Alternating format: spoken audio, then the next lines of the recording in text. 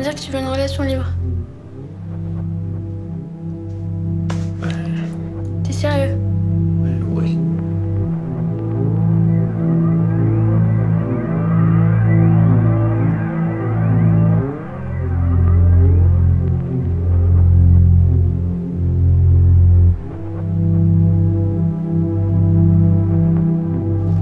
Mais qu'est-ce que ça fait d'avoir l'air fou si pour rester fidèle à ses principes? Bonnet.